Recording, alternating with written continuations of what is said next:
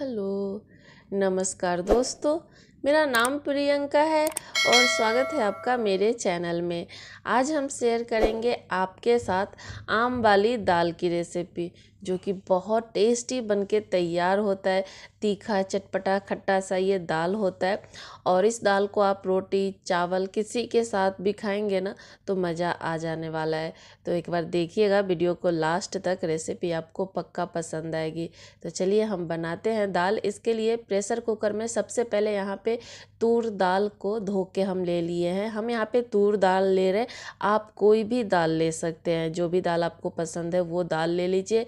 इसमें इतना पानी डाल दिए हैं कि दाल अच्छे से डूब गया है और यहाँ पे हम इसमें आम डाल देंगे।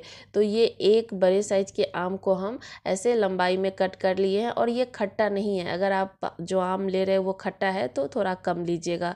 और आधा चम्मच हल्दी पाउडर, थोड़ा सा नमक और थोड़ा सा तेल डाल देंगे ताकि दाल उबल के बाहर ना आए और इसे बंद करके हाई फ्लेम पे एक सीटी और एक सीटी स्लो फ्लेम पे दो सीटी हम इसमें लगा लेंगे। तो यहाँ पे टोटल दो सीटी हम लगा लिए हैं और खोल के चेक कर लेते हैं दाल को। तो ये बहुत अच्छे से पक गया है दाल। अगर आपको एकदम मैश जैसा दाल पसंद है ना तो एक सीटी और ज़्यादा लगा लीजिएगा। वैसे ये दाल यहाँ पे बहुत अच्छे से पक चुका है। तो इसे हम साइड में रख देते हैं और अब लगाएँगे इसमें एक तड़का। तो इसके लिए पैन में हम डाल रहे हैं दो चम्मच भर के घी। दाल में ना घी से बहुत अच्छा टेस्ट आता है। वैसे आप जो भी तेल खाते हो वो तेल भी ले सकते हैं। और अब इसमें हम डालेंगे एक तेज पत्ता और एक छोटी चम्मच के करीब जीरा और दो साबुत लाल मिर्च। थोड़ी देर इसे हम भून लेंगे और अब इसमें हम डालेंगे डेढ़ दो चुटकी के करीब हींग। इसे भी थोड़ी देर भून लेंगे और अब इसमें हम डालेंगे लहसुन। तो यहाँ पे लहसुन को चॉप करके डालिएगा। इससे दाल में बहुत अच्छा फ्लेवर आता है और इसे अच्छे से भून लीजिए। ये लहसुन हल्का सा ब्राउन हो जाए, तब तक आप इसे भून लीजिए। अब इसमें हम डाल देंगे प्याज और हरी मिर्ची। तो हम यहाँ पे चार से पाँच हरी मिर्ची लिए हैं। ये ज़्यादा तीखा नहीं है और एक बड़े साइज़ के प्याज को चॉप करके डाल लिए हैं। और अब प्याज को अच्छे से हमें ब्राउन होने तक भून लेना है। तो यहाँ पे आप देख सकते हैं, प्याज हमारा भुना गया है। तो तो अब इसमें हम मसाले ऐड कर लेंगे। गैस को बिल्कुल सिम कर दीजिए। आधा चम्मच कश्मीरी लाल मिर्ची पाउडर, आधा चम्मच जीरा पाउडर और ये एक छोटी चम्मच है धनिया का पाउडर। और थोड़ा सा यहाँ पे तीखा वाला मिर्ची पाउडर हम ले रहे हैं। हल्दी पाउडर नहीं डालेंगे क्योंकि दाल में हम डाले हुए हैं हल्दी पाउडर। एक से डेढ़ मिनट हम मसाले को भून लिए हैं। अब इसमें डाल देंगे टमाटर।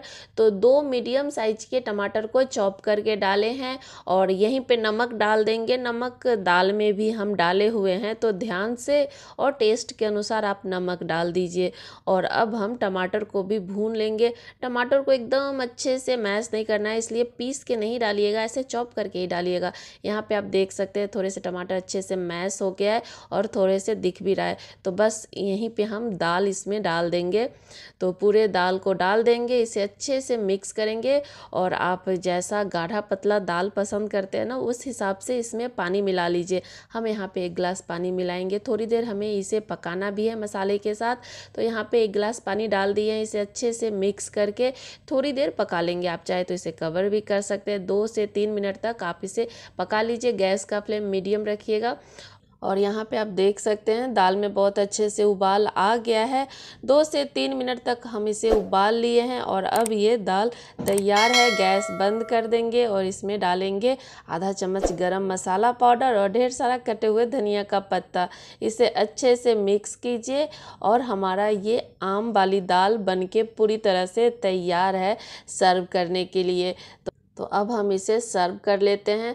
बहुत टेस्टी लगता है, खट्टा, तीखा, चटपटा सा, बहुत सारे फ्लेवर इसमें आ जाते हैं आम की वजह से। तो एक बार इसे आप ट्राई कीजिएगा, अभी मार्केट में आम भी बहुत आसानी से मिल जाता है। एक बार बनाइएगा, बताइएगा कैसा लगा मेरा ये रेसिपी। अगर रेसिपी आपको अच्छा लगा तो प्लीज़ मेरे चैनल को सब्सक्राइब कर लीजिए। बेल का बटन भी प्रेस कर लीजिए ताकि मेरा हर वीडियो आपके पास पहुँच सके। वीडियो अच्छी लगे तो लाइक कीजिए, शेयर कीजिए, कमेंट कीजिए।